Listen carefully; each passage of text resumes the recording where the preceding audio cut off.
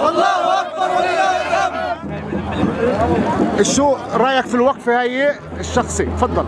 رأيي شخصي بهذه الوقفة هذه وقفة أتت لنرسل لنبعث رسالة إلى سلطات الاحتلال بأننا هنا بقول لن نقتلع ولن تقلعونا سنبقى في أرضنا أرض أجدادنا وليس أرض أجدادكم. ارجعوا إلى من أين ما من أين ما أتيتم. هذه بلاد بلادنا كلما نساؤنا تلد وأمهاتنا عائشات وأهالينا عايشين في هذه البلاد سنستمر. أتيناكم هنا من النقب من من مدينة رهط ومن أم الحيران مع صور الشهيد. شهيد أم الحيران شهيد الأرض والمسكن. لن نعطيكم ما تريدونه. إننا أبناء شعب واحد. النقب والشمال والمثلث أبناء شعب واحد. سنستمر بالعيش على أرضنا رغم كيد الكائدين. اليوم أقمنا هذه التظاهرة من أجل صد الهجمة الشرسة على جماهيرنا العربية من آه، كل النواحي آه، هدم البيوت. إحنا اليوم بننادي على صوتنا يوقفوا هدم البيوت. ولا ولا نعطي مجال لأي هدم آخر في المنطقة أو في أي شبر في في في فلسطين في وطننا الحبيب. الحكومة تنتهج آه، هجمة شرسة على وتحريض على جماهيرنا العربيه ونحن نطالب من كل العالم أن يقف أمام هذه اولا الوقفة الشرسة. جاءت استمرار للخطوات اللي أقرتها لجنه المتابعة وضبط سياسة الهدم البيوت التي تنتهجها حكومة اليمين والرئيس نتنياهو. هذه الحكومة أعلنت الحرب ضد ضد مواطنيها العرب في هذه البلاد بحيث أنها تصادر الأرض وتحاول أيضا أن تهدم البيت حتى تفقد هاي الجماهير من أملها. وشو رأيك أنت؟ أنا برأيي هاي وقفة جماهيرية مهمة جدا. هاي صرخة غضب هاي مقولة للحكومة في إسرائيل أنه الجماهير العربية ترفض هذه السياسة ما سيهدم سنبني وسنتصدى بأجسادنا لكل آليات الهدم في قرانا العربية.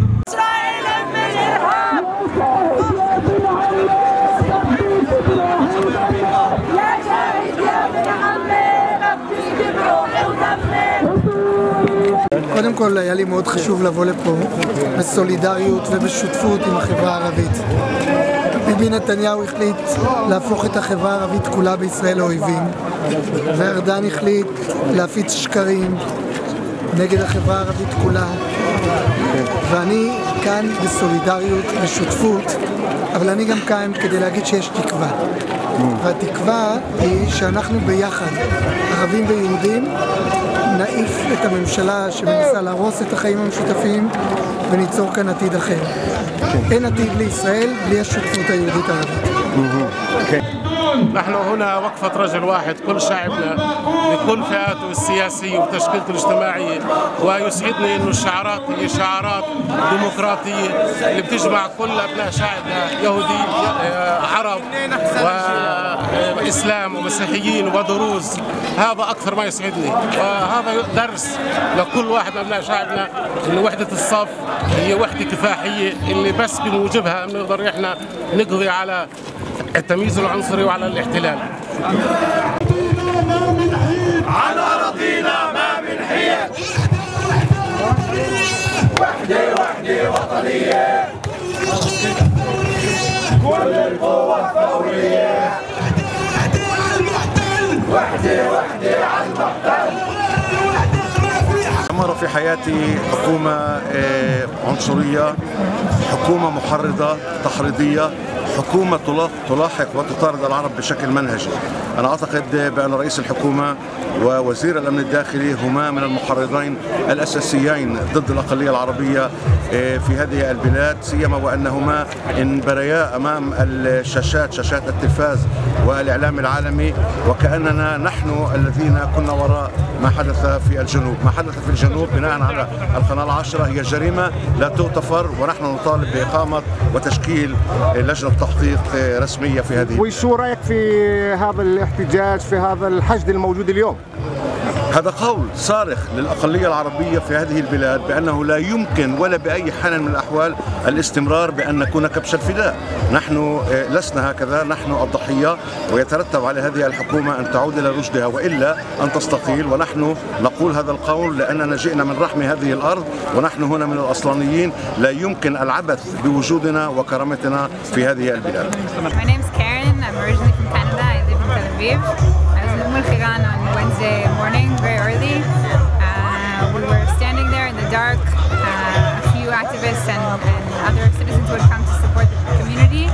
We were only there for a few minutes when the police came in as if they were going into a combat mission. They came straight running at us with guns, uh, pushing people, hitting people, hit me over the shoulders with a gun, kicked me, pushed me, and then we heard shooting, shooting, shooting. The friends who were with me, who were close to car, they saw that the police had shot at the car and then the car started to roll down the hill. And then shooting, shooting, shooting everywhere with all kinds of weapons, pepper spray, everything. And it, uh, we couldn't believe it was happening. How do you you feel this moment?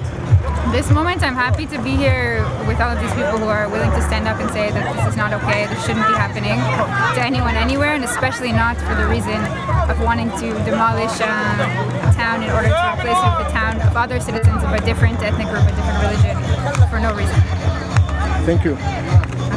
هي مقولة هي رسالة وإجابة على ال- كل السياسة العنصرية اللي بتواجهها آه، مجتمعنا بآخر فترة.